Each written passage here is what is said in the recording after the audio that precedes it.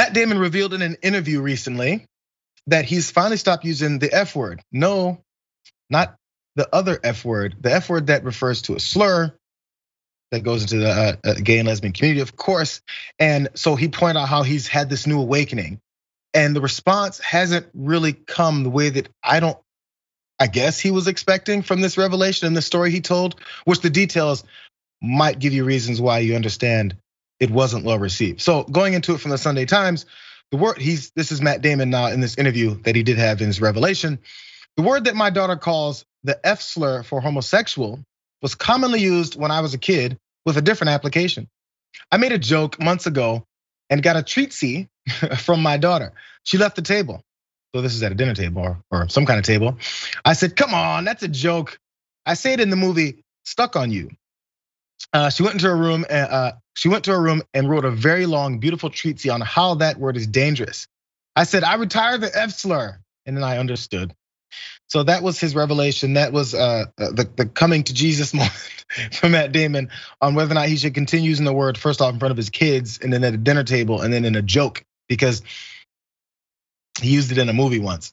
Um, so some of the responses from folks uh, once he realized what was going on, um, someone tweeted, "Everybody says nothing." The national news media says nothing.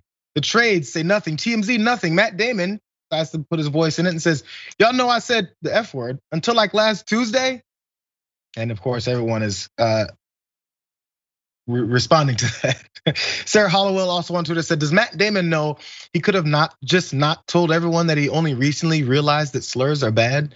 Yes, that was definitely my first thought. So after some of the pushback happened, which was much more broad than that, he responded and he talked to Variety. In a statement to Variety, uh, Matt Damon did say that he has never used the word "quote" in his quote personal life, and does not use slurs. Uh, does not use slurs of any kind.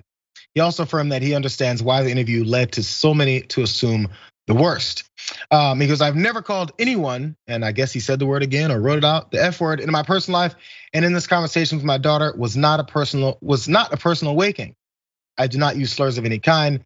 I've learned that eradicating prejudice requires active movement towards justice rather than finding passive comfort in imagining myself as, quote, one of the good guys. And given that open hostility against the LGBTQ plus community is still not uncommon, I understand why my statement led to many assuming the worst. As far as I can be, I stand with the community. Okay. Is he off the hook? is he canceled?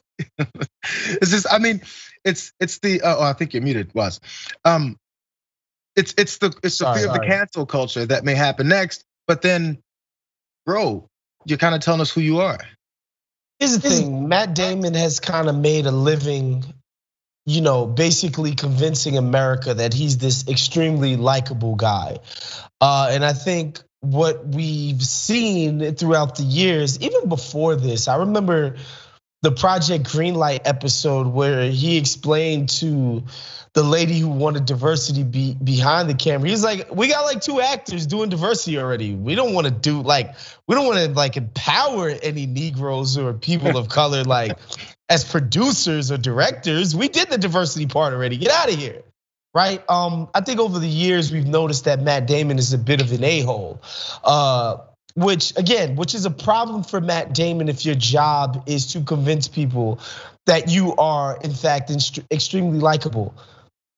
However, um, these are the kind of things I think we get a little bit too bent out of shape about, to be honest with you. Uh, Matt Damon and whatever words he might use in his personal life, um, obviously we would hope that he's not walking around calling people the F word. That would be horrible, um, terrible, brutish behavior. However, like the reason why I tend to not give a damn about it because I think about the sort of inverse of this where we put too much stock in the people who do say the right things all the time. Say the right things.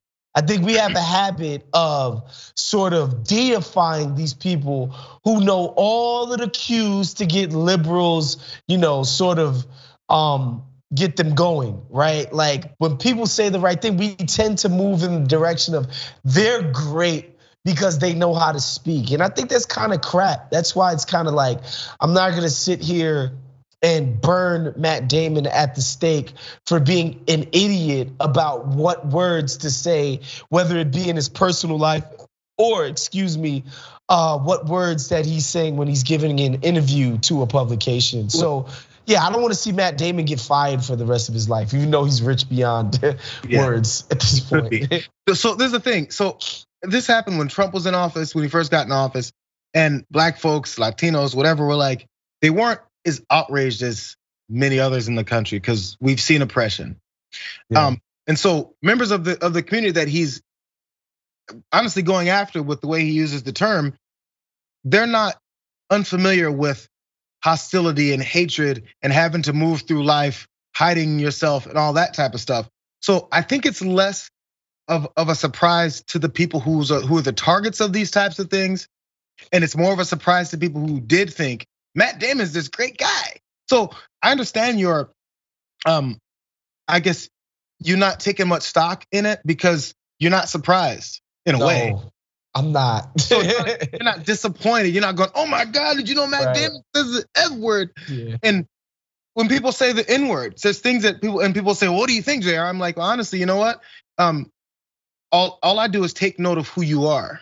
I don't need to go and then start fight with you, and I don't need to then go drag you around the parking lot. It just, in my mind, I do, I don't need to exert that kind of energy for you just because you're a piece of garbage. If I learn that you're a piece of garbage, I understand that, and then I move through life to make sure I understand who you are. Now, the people that are disappointed and worried, and this became a story, is because so many people take this this stock in him being a good guy. I don't care that he's that he's not a good guy. I don't care that he is a good guy. I'm not invested in Matt Damon, but I do understand the people that have understood that. They may have felt some kind of inspiration from him in his films, felt they could be like him, and there's a letdown. I just told my kid the other day because we're gonna talk about DaBaby too, and he's a fan of uh, of DaBaby, and I said, man, it's one of those things that once you meet or find out something about the people that you we used to call heroes, I don't even like that term, but people that you like their work, you have to understand that they're flawed human beings. And you have to make the decision of whether or not that's enough for you to not deal with them anymore, or whether or not you're gonna try and figure out, or they try and figure out what they're gonna do about their flaws. That's where the I think some of the comeback comes from. Yeah, I don't think there's like we're so afraid of being called out for being bad people or doing or saying bad things. Get called out and then respond with some kind of uh, uh, with something that will fix yourself.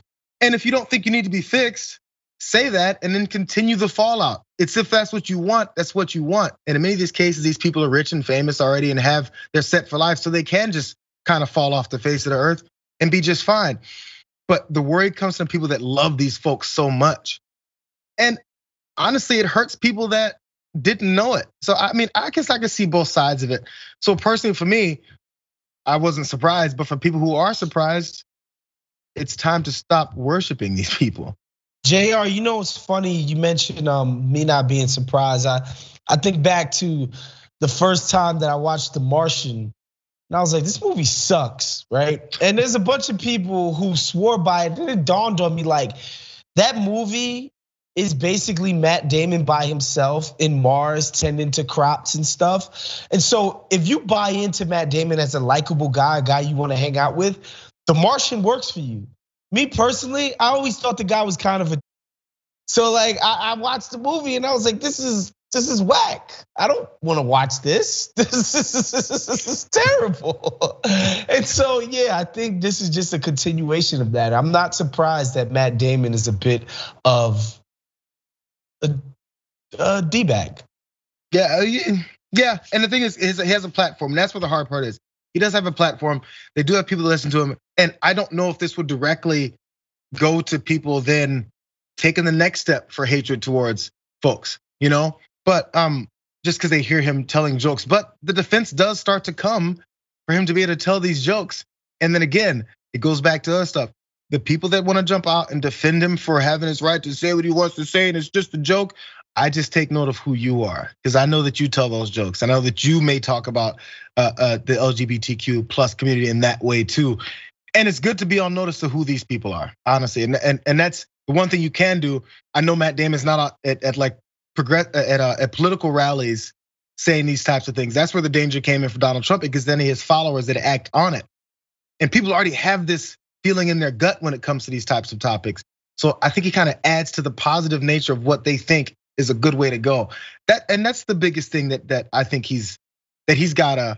if you say openly that you just learned this, say openly that anyone else who just learned this needs to go the way that I've gone and stop it. Like just finish it off. There's just one last step. Give me that PSA, you know, that's all. Because right now the PSA is, it was a joke. My 15, I don't know how old his daughter is.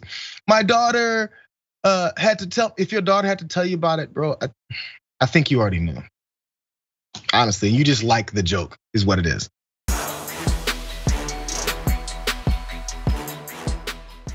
Check out the Damage Report podcast each day, wherever you get your podcasts, whether Pocket Casts or Stitcher or iTunes. You can join me as I give you the news and stories you want, with a range of co-hosts and interview guests jumping in on the fun each day.